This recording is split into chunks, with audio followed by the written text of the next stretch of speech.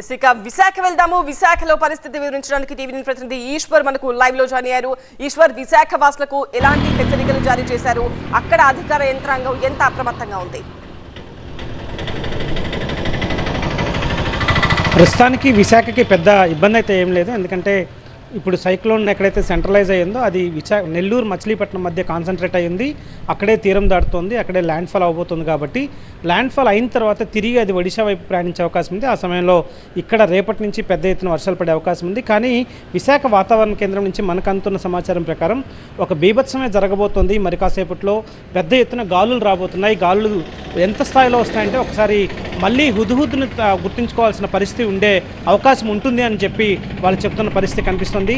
ఒకసారి పెద్ద ఎత్తున విశాఖ వాతావరణ అధికారుల హెచ్చరికల ప్రకారం అయితే కొన్ని ప్రాంతాల్లో కొన్ని ఐసోలేటెడ్ ప్రాంతాల్లో బీభత్సమైన గాలులతో పాటు పెద్ద భారీ వర్షాలు కురవబోతున్నాయి. దాంతో ఆ ప్రాంతం ఇబ్బందికరమైన వాతావరణానికి గురయ్యే అవకాశం ఉంటుందని చాలా తీవ్రమైన హెచ్చరికలు చేస్తున్న పరిస్థితి కనిపిస్తుంది. మరొకవైపు మిగతా మిగతా ప్రాంతాల్లో కమ్యూనికేషన్ వ్యవస్థ తీవ్రంగా దెబ్బతినే అవకాశం ఉంటుంది. ట్రాన్స్పోర్టేషన్ వ్యవస్థ తీవ్రంగా దెబ్బతినే అవకాశం ఉంటుంది. అందుకనే ఇప్పటికే దాదాపు విశాఖ విజయవాడ ఈ మార్గాల్లో ప్రయాణించే రైళ్ళన్నింటినీ రద్దు చేశారు. విశాఖలో అయితే దాదాపు ఎయిర్పోర్ట్ దాదాపుగా అనఫిషియల్గా క్లోజ్ చేసినట్టుగానే భావించాలి. ఒక్క ఫ్లైట్ కూడా ల్యాండ్ అయ్యే అవకాశం లేదు. ఎందుకంటే పూర్ విజిబిలిటీ ఉండే అవకాశం ఉంది అని అధికారులు భావించారు. ఆ నేపథ్యంలోనే ఎట్టి పరిస్థితుల్లో విమానాలని నడపడానికి ఆయా విమానయాన సంస్థలు అంగీకరించకపోవడంతో అన్నింటినీ దాదాపు పంతొమ్మిది ఇండిగో విమాన సర్వీసులు ఈరోజు రద్దయ్యాయి. అలాగే విశాఖ సంబంధించి కూడా ఇక్కడికి వచ్చే ట్రైన్స్ కూడా దాదాపు ఈ సెక్షన్లో ఉండే ట్రైన్స్ కూడా దాదాపు అన్నీ పూర్తిగా దెబ్బతిన్నాయి. ఎందుకంటే రద్దయ్యాయి. ఎందుకంటే ట్రాకులు కూడా దెబ్బతినే అవకాశం ఉంది. పెద్ద ఎత్తున గాలులు కూడా ఇచ్చే అవకాశం ఉంది. హైవే మీద ప్రయాణించే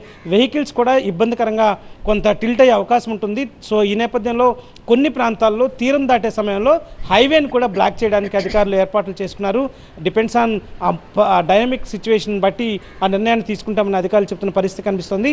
పెద్ద ఎత్తునే కొన్ని ప్రాంతాల్లో పర్టికులర్గా వంద కిలోమీటర్ల పైబడి గాలులు వీచే అవకాశం ఉంది. ఆ ప్రాంతాల్లో జనసమ్మర్ద ప్రాంతాలు కావచ్చు లేకపోతే జనం లేని ప్రాంతాలైనా కావచ్చు. కానీ అక్కడ మాత్రం కొన్ని పాకెట్స్లో బీభత్సం జరిగే అవకాశం ఉందన్న వార్నింగ్స్ నేపథ్యంలోనే ప్రభుత్వం చాలా తీవ్రంగానే అలర్ట్ అయింది. ఎక్కడ ప్రధానంగా హ్యూమన్ లాస్ జరగకుండా ఉండాలన్నది ప్రభుత్వ లక్ష్యంగా కనిపిస్తోంది. మరొకవైపు ఆస్తి నష్టాన్ని నివారించే ఆస్తి నష్టాన్ని కూడా నివారించేందుకు అవసరమైన అన్ని చర్యలు చేస్తున్నారు. ఇంతకుముందు మనకి బాపట్ల నుంచి వచ్చిన రిపోర్ట్ ప్రకారం ఎక్కడైతే వరిచేలు పూర్తిగా మునిగిపోయే అవకాశం ఉంది పూర్తిగా దెబ్బతినే పంట పూర్తిగా దెబ్బతినే అవకాశం ఉంది దీన్ని మొదటి నుంచి అంచనా వేస్తున్నారు. ఎందుకంటే మూడు రోజుల నుంచి ఒకవేళ వరి పంటకు సంబంధించి ఏదైనా ఉంటే పంట కోత ఆపుకోండి అని కూడా హెచ్చరికలు కావచ్చు సూచనలు కానీ చేశారు. కానీ ఇంత పెద్ద వర్షంలో వాటిని అవి మునక్కుండా కాపాడుకోలేము కాబట్టి ఖచ్చితంగా ఆ నష్టాన్ని మాత్రం భరించాల్సిన అవసరం ఉంటుంది.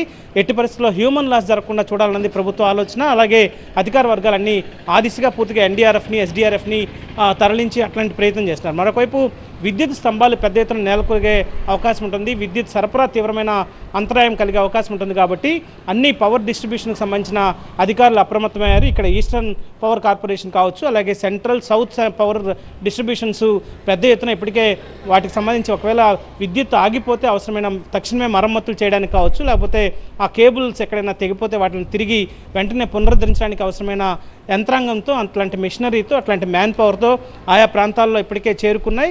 వాటిని రెగ్యులర్గా ఉన్నతాధికారులు పర్యవేక్షిస్తున్న పరిస్థితి కనిపిస్తుంది. ఎనర్జీ సెక్రటరీ కూడా నిన్న నిన్నటి నుంచి కంప్లీట్గా అన్ని డిస్ట్రిబ్యూషన్ కార్పొరేషన్స్తో ఆయన రివ్యూస్ చేస్తున్న పరిస్థితి కనిపిస్తుంది. సో. మొత్తానికి ఒక బీభత్సాన్ని సృష్టించే అవకాశం ఉందన్న హెచ్చరికల నేపథ్యంలో కొంత పూర్తి స్థాయిలో అందరూ అలర్ట్ అయిన పరిస్థితి అయితే కనిపిస్తుంది.